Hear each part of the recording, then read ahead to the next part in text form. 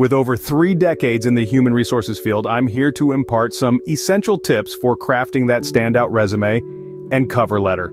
This duo acts as your first impression to any potential employer.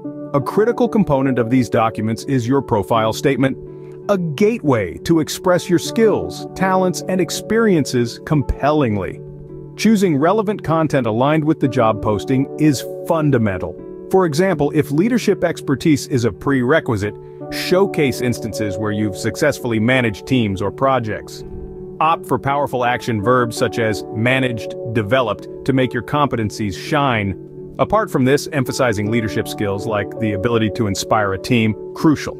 These qualities are highly appreciated by employers. For the layout of your resume, essential to maintain clarity and simplicity. Eschew jargon in favor of straightforward language. Diligently proofread. Even an error can mar your reputation. It's imperative to customize your resume and cover letter to each job application. This demonstrates a deeper understanding of the role and the company. If you have any published works, ensure their inclusion using the Harvard citation style. By following these guidelines, your job application documents will be more likely to impress potential employers. Remember, customization is key for each application. With 30 years as an HR professional under my belt, I've come across numerous pitfalls in resume and cover letter writing that warrant attention. The most prevalent error is the lack of customization. Applicants often submit generic documents, ignoring the effectiveness of tailoring them to the specific job or company. Remember, a tailored resume or cover letter is more likely to grab attention. Honesty is equally paramount. Falsifying qualifications can backfire terribly. Coupled with this, make sure your documents are succinct, relevant.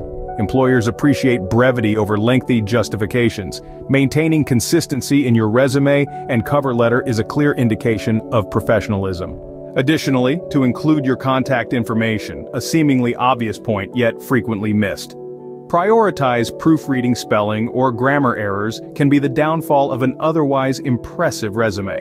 Lastly, while apt keyword usage is encouraged, stuffing your document with them is a big no-no. Crafting a well-thought-out resume and cover letter is your direct line to potential employers by embodying customization, honesty, brevity, correct contact information, and strategic keyword usage, you are setting the stage for success in your job search. Through these guidelines, you craft a compelling and professionally polished resume that effectively communicates your qualifications and stands out to potential employers.